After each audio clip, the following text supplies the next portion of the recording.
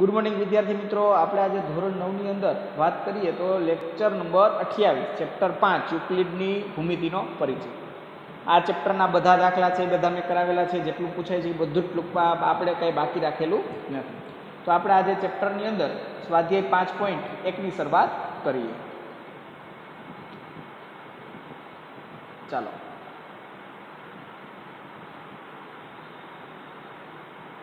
સ્વાધ્યાય પાંચ પોઈન્ટ એક. એની આજે આપણે શરૂઆત કરીશું.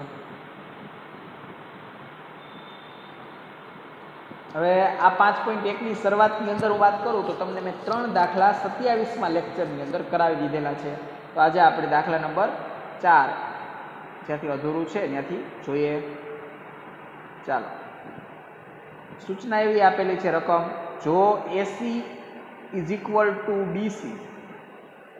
થાય. તેવું બિંદુ સી આ બિંદુ સી બિંદુઓ એ અને બીની વચ્ચે હોય. તો સાબિત કરો કે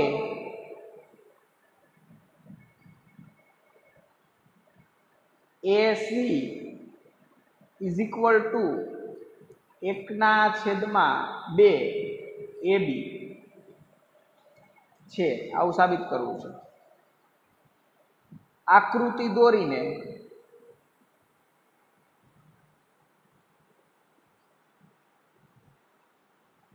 તે સ્પષ્ટ કરો, એવું કીધું છે.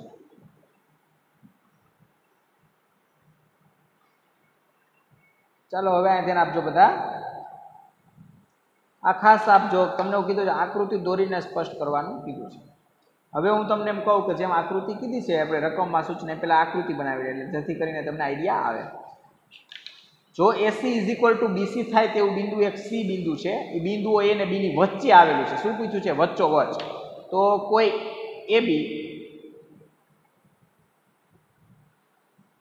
હા એ બી રેખાખંડ દોરી લઈ. જેને નામ આપી દઈ એ અને બી બિંદુ સી છે છે એ અને બીની વચ્ચે આવેલું છે. વચ્ચે હોય તો આ બે કટકાર્યા. એથી સી અને સીથી બી બી બંને કેવા થાય? સરખા થાય. ક્લિયર જો અહીં લખેલું જ છે. જો એસી બરાબર બીસી એટલે એસીનો ભાગ અને બીસીનો ભાગ બરાબર કેવા છે? ઇક્વલ છે આ બંને કટકા. એટલે આ રીતે આપણને કીધું છે એમ કામ કર્યું છે.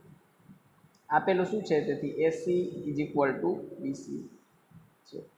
ક્લિયર હવે ખાસ ધ્યાન આપજો. આપણે આ રિઝલ્ટ સાબિત કરવાનું છે. તો આ રિઝલ્ટની અંદર હું શું કે આ તમને આપેલું છે એટલે જો કરીને જે આપેલું છે એમાં આપણે ફેરફાર કરશું, જેથી કરીને આવડું આ એસીનું આપણે કામ કરી શકીએ. તો હું સૌથી પહેલાં એસી તો આપણે જોઈ છે.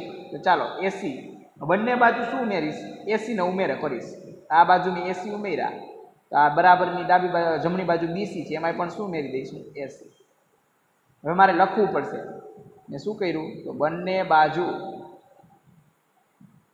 સરખું ઉમેરતા. સરખું ગયું ને? આપણે જે ઉપયોગ કરી છીએ ભણી ગયા સિદ્ધાંતો, એના મદદથી આ સાબિત કરવાનું છે. તે લખવું પડે. જે આવું સરખું ઉમેરતા વાળો સ્વયં સિદ્ધ સત્ય કોણ હતું યુક્લિડનું? યાદ કરો જોઈએ સ્વયં સિદ્ધ સત્ય. બીજા નંબરનું યાદ કરો જોઈએ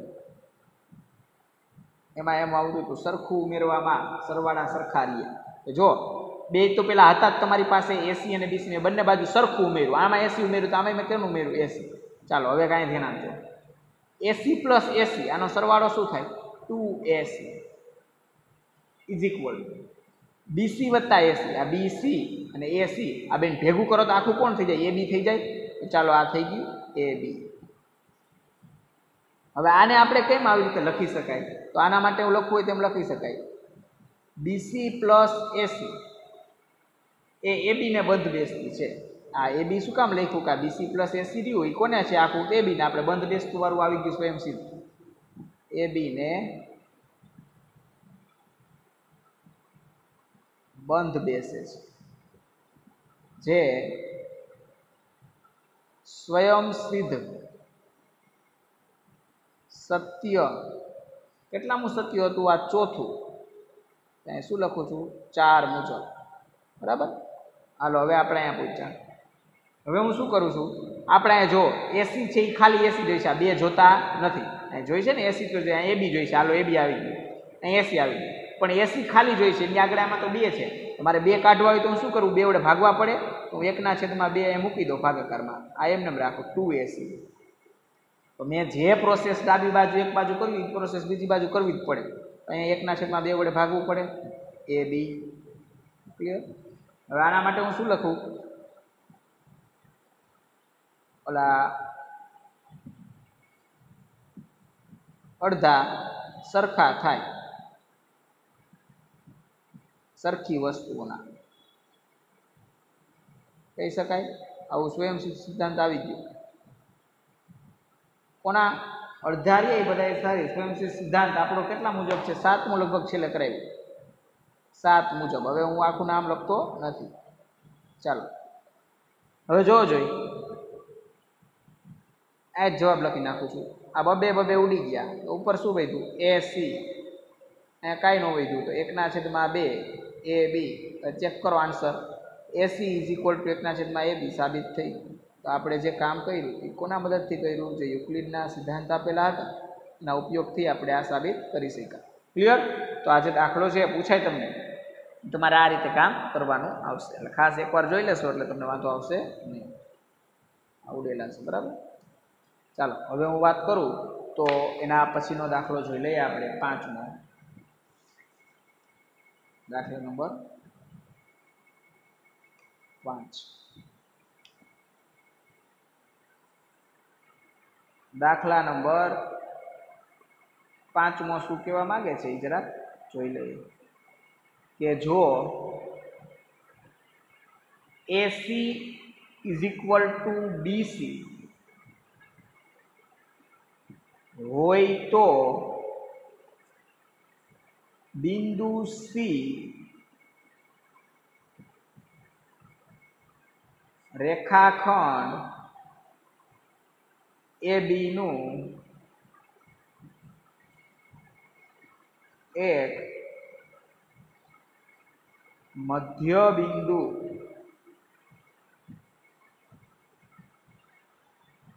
કહેવાય છે. તમને એવું સૂચના આવી છે, પ્રશ્ન ચાર મુજબ તમે બનાવીને તમને લખાવી દીધો એટલે આખો પ્રશ્ન કેમ પૂછે એ પ્રમાણે મેં લખાવી દીધું, બરાબર? સાબિત કરો કે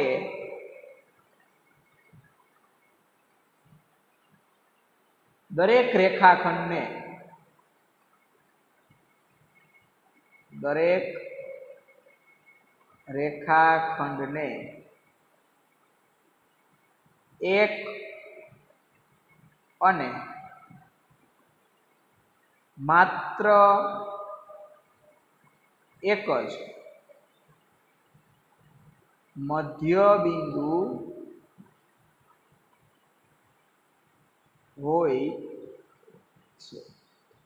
જો એસી બરાબર બીસી હોય હવે તમને ખબર પડી ગઈ ક્યારે પણ કોઈ ઇક્વલ બે બાજુ હોય, એમાંથી જે સરખી દેખાતી હોય, સરખું બિંદુ કોણ છે? આમાં જોવો જોઈએ સી આમાં કોણ આવ્યું? સી તો આમાં ઇક્વલ હોય એટલે જે વચ્ચે સરખું બેમાં આવતું હોય ને એ હંમેશા મધ્ય બિંદુ હોય. આ યાદ રાખજો, આ ભૂલતા નહીં. તમને ગમે ત્યારે આગળ પણ દસમામાં પણ કામ આવશે, આવી રીતના ઓળખતા આવડતું હશે. હાલો, હવે હું કહું કે મધ્ય બિંદુ છે. આ તમને ખબર પડી ગઈ, શું કીધું છે? આમાં કીધું છે કે આવું બરાબર હોય તો આ સી શું થાય? રેખાખંડ એ બીનું એક મધ્યબિંદુ કહેવાય છે. તો કોઈ રેખાખંડને મધ્યબિંદુ હોય ને તો એક જ હોય. વચ્ચોવચ્ચ બિંદુ એક જ હોય. જે ત્યાંથી બે સરખા ભાગ થાય. બે બિંદુ હોય તેને મધ્ય બિંદુ કહેવાય નહીં. આપણે એ સાબિત કરવાનું છે કે દરેક રેખાખંડને એક અને માત્ર એક જ મધ્ય બિંદુ હોય છે. તો પહેલાં તો મધ્ય બિંદુના ગુણધર્મ તમને ખબર હોવી જોઈએ કે મધ્ય બિંદુ આમાં કોણ છે? સી તો સી માટે બે ગુણધર્મો છે. મધ્ય બિંદુ સી છે, જેના માટે આપણે કેટલા ગુણધર્મો છે? બે ગુણધર્મોની વાત કરવાના છીએ. તો તેમાંનું પેલું જોઈ લઈએ કે પેલું શું કીધું છે? કે બિંદુ સી એ રેખાખંડ એ બી પર ક્યાં આવ્યું છે? તો મધ્ય બિંદુ હોય તો વચ્ચે જ હોય, તો એ અને બીની વચ્ચે આવેલ છે. આ પેલો ગુણધર્મ બીજાની વાત કરીએ. બિંદુ સી એ એ અને બી થી વચ્ચે બિંદુ આવ્યું હોય તો કેવું હોય અંતર? સમાન અંતર. એ અને બી થી.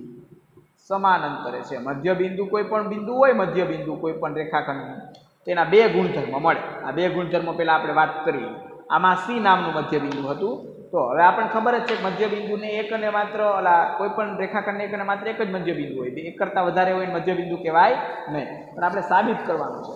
સાબિત કરવું હોય તો આપણે આના જેવું બીજું બિંદુ લઈશું કે જેને સી જેવું બતાવી દઈશું એટલે આપણું સાબિત થઈ જશે તો ચાલો, આપણને તો સી આપ્યું છે. તો ધારો કે સાબિત કરવા માટે કોઈ પણ એક બિંદુ લઈશું, જે સીનું પાલન કરે, તો આપણે કહી શકું કે એ પણ મધ્ય બિંદુ છે.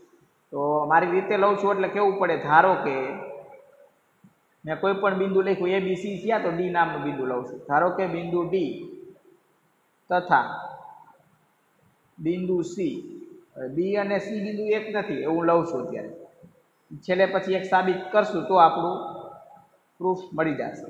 ભિન્ન બિંદુઓ, ભિન્ન એટલે અલગ અલગ બિંદુઓ છે. અને મેં નવું જે બિંદુ લીધું કોણ? ડી તો ડીના વિશે હું શું કહું છું કે ડી એ રેખાખંડ એ બીનું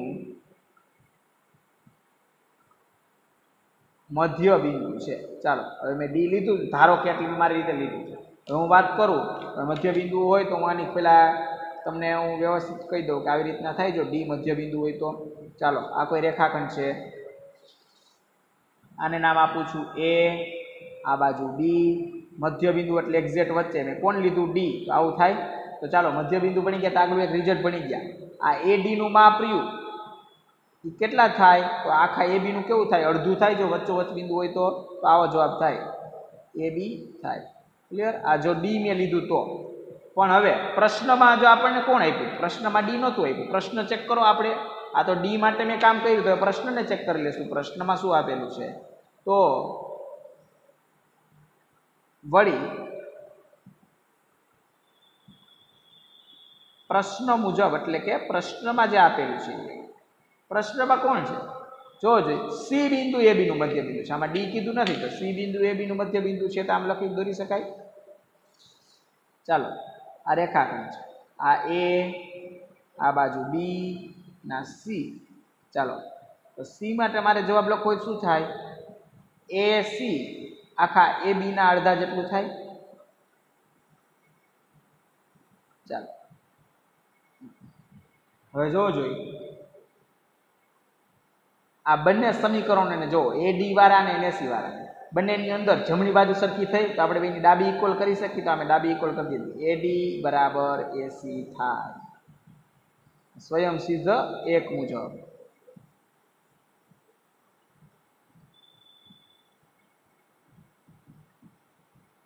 ક્લિયર હવે મારે શું કરવાનું છે કે આ ડી નામનું જે બિંદુ છે ડી અને સી રેખાખંડ એની પર હવે આ તમે આ બે જુઓ આ ઇક્વલ થયું હોય તો આપણે બે વિશે વાત કરી શકીએ.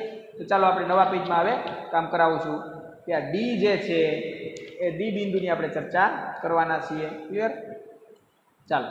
હવે બેને તમને ખબર પડી કે રેખાખંડ જોઈ રહ્યા તો સી મધ્ય બિંદુ થયું એટલે વચ્ચોવચ આવ્યું. અને બીજું કોણ આવ્યું? ડી વચ્ચોવચ છે. તો હવે હું આપણે વાત કરી દેવાની એવી રીતે કે હવે આ ડી અને સી આ બંને રેખાખંડ એ બી પર એ અને બીની વચ્ચે છે. હાલો, એ બે ખબર પડી ગઈ. એ અને બીની વચ્ચે છે. તથા બંને બિંદુઓ. હવે શું આવ્યું હતું જવાબ A D is equal to AC થયું હતું ને, તો બંનેમાં એ આવ્યું હતું તો એનું અંતર કેવું થાય? કયા બિંદુથી સરખું થાય? એ થી સમાન અંતરે છે. આપણે એવું લખી શકીએ. એમાં ઇક્વલ વચ્ચે આવ્યું તો એ કોમન આપણે કોઈ બિંદુ થઈ ગયું એ એથી કેવા અંતરે છે? સમાન અંતરે છે. તો આપણે કહી શકાય કે તેથી તે પરથી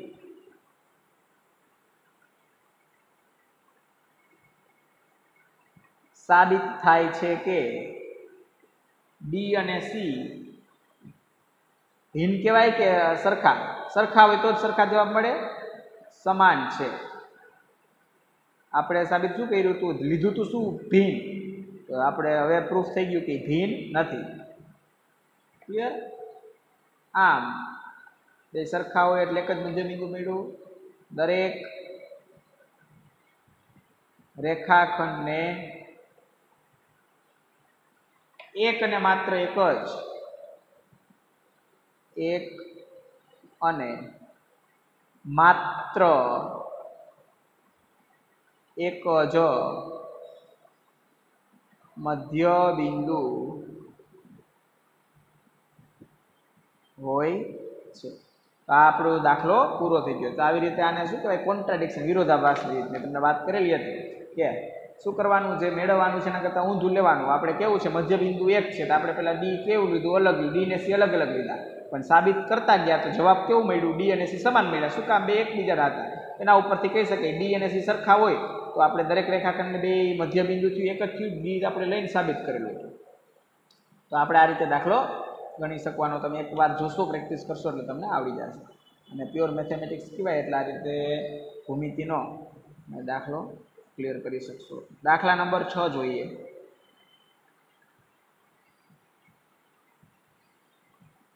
આપેલ આકૃતિમાં આપેલ આકૃતિમાં જો AC is equal to BD હોય તો સાબિત કરો કે A B is equal to CD છે. આકૃતિ આપેલ છે એટલે આ પેનથી દોરું છું. તમને એક આકૃતિ કંઈક આપેલી છે. એના આધારે તમારે જોવાનું, સાબિત કરવાનું છે. ચાલો. આકૃતિની અંદર શું આપેલું છે? એબીસીડી ચાર બિંદુ આપેલા છે. અહીંયા આપેલું છે એ પછી અહીંયા કંઈક આપેલું છે બી અહીંયા આપેલું છે સી અહીંયા આપેલું છે ડી ક્લિયર હવે આના ઉપરથી તમારે એવું સાબિત કરવાનું છે, જોનો ઉપયોગ કરવાનો છે. એસી બરાબર બીડી આપ્યું છે. તો એ બી અને સીડી તમારે સાબિત કરવાનું છે. કાંઈ વાંધો નહીં. જો એટલે એનો ઉપયોગ કરવાનો અને તો વારું. રિઝલ્ટ સાબિત કરવાનું. તો જોથી આપણે કામ કરવાનું ચાલુ કરશું. ચાલો. જો વાળું ક્યાં ગયું આ? તો આપણે આવું લખી શકીએ. જે છે એ લખી નાખવાનું AC is equal to BB આપેલું છે. હવે ચાલો જોઈ બધાને ખબર છે. તો કોઈ પણ ત્રણ બિંદુ સમરેખ હોય એટલે એક જ લીટીમાં આવતા હોય તો એનું મેં કેમ થાય? એ તમને કરાવી દઉં. હવે એસી બધા આકૃતિમાં ગોતો. એથી સી આ એથી સી આ એસીનો જવાબ મારે લખવો હોય તો શું થાય? એ બી વત્તા બી સી એમ લખાય. તો આમ લખી શકાય. A B plus B C is equal to બીડીનો જવાબ ગોતો. બીથી ડી તો બીથી ડી ક્યારે મળે? તો બીસી અને સીડીનો સરવાળો કરો તો મળે. તો બીસી વત્તા સીડી મારાનું કારણ લખવું હોય. તો આપણે દાખલા હોય તો ન લખો, ચાલે, પણ આપણે આ ભૂમિતિ પ્રમાણે જે ઉપયોગથી દાખલા ગણીએ છીએ, તો એના માટે લખશું કે એ બી અને બીસી આ બે કોને બંધ બેસતું છે એસી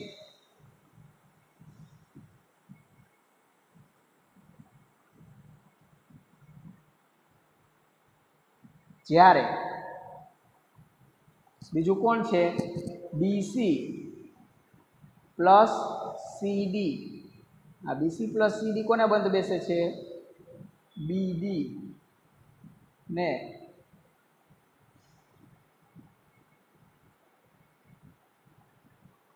બંધ બેસે છે. આ એનું કારણ.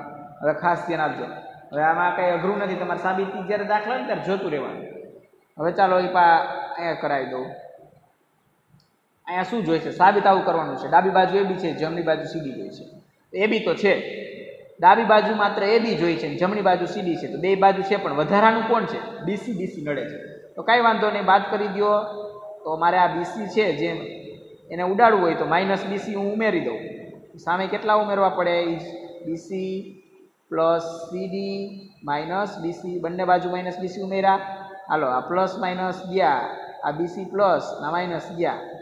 જવાબ આવી ગયો A B is equal to C B સાબિત થાય છે. મારા આના વિશે લખો શું થાય? સરખામાંથી સરખું બાદ કરતા સ્વયંસિદ્ધ ત્રીજ મુજબ આવે છે ને? આ બે પેલા સરખા હતા. છે? સરખા એટલે ઇક્વલ એટલે આ બે સરખા જ કહેવા માંગે છે, આ બે એકબીજાને સરખા છે. હવે એમાંથી મેં સરખું બાદ કર્યું. જવાબ આપણે એ બી જોતો હતો બીસી નડતા હતા. તો મેં બીસી આ પ્લસ છે, તો માઇનસ કરો બે ઉડી જાય પ્લસ માઇનસ જીરો થઈ ગયું. તો ચાલો, મેં સરખામાં સરખામાં બીસી બાદ કર્યા, તો મેં આ બીજામાંથી કેટલા બાદ કર્યા? સરખા જ બાદ કર્યા બીસી આ સ્વયંસિદ્ધ સિદ્ધાંત મુજબ, ત્રણ મુજબ તમે યાદ રાખજો જ્યાં લખતો નથી. જેથી કરીને આ બે ઉડી ગયા, તો આ બાજુ વધ્યું એ બી ને આ બાજુ વધ્યું સીધું તો આપણું જે રિઝલ્ટ છે એ સાબિત થઈ ગયું. આ પ્રશ્ન જે ખાસ પૂછાઈ શકે, પરીક્ષામાં તમારે સાબિતી ઉપર ચેક કરવાનું. ક્લિયર ચાલો, હવે છેલ્લો પ્રશ્ન જોઈ લઈએ સ્વાધ્યાય પાંચ પોઈન્ટ એકનો એટલે તમને એકદમ ક્લિયર થઈ જાય.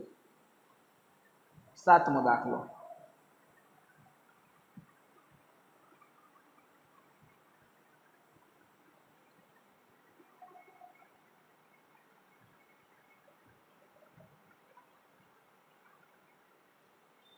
યુક્લિડના સ્વયંસિદ્ધ સત્યોની યાદીમાં આપેલ સ્વયંસિદ્ધ સત્ય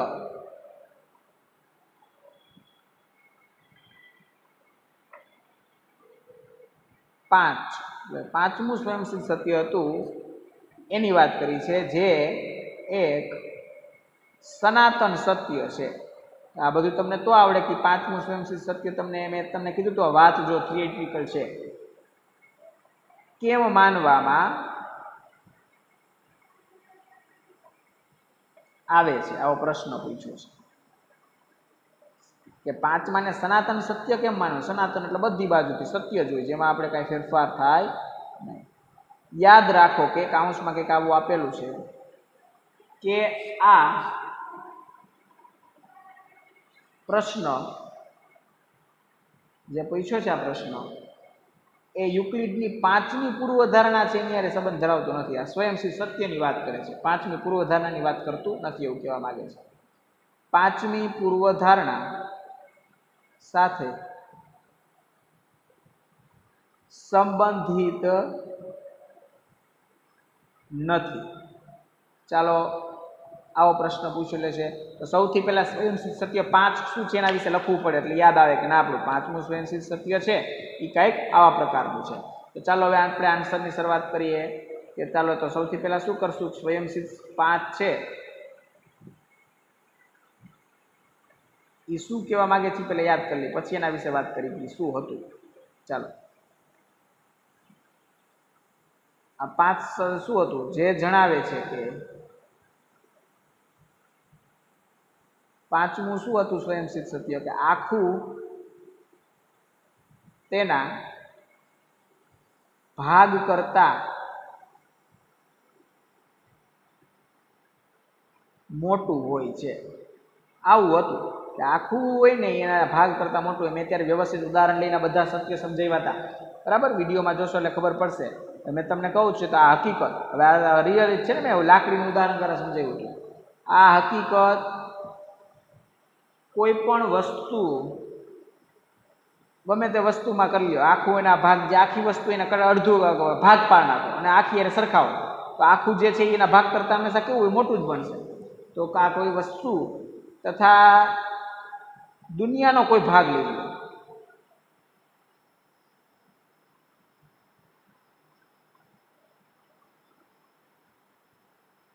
બધે કેવી લાગુ પડશે? સાચી જ સાબિત થશે.